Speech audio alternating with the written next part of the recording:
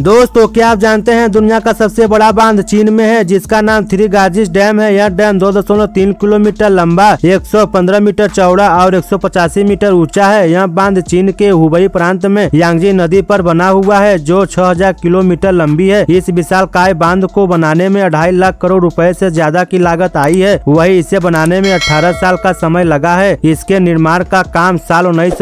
में शुरू हुआ था और दो में यह बनकर तैयार हो गया था थ्री आज इस डैम को बनाने में चार लाख तिरसठ हजार टन की स्टील का इस्तेमाल हुआ है इसमें बाईस हजार चार सौ मेगावाट बिजली उत्पन्न करने की क्षमता है तो ऐसे ही अमेजिंग फायर देखने के लिए चैनल को सब्सक्राइब करें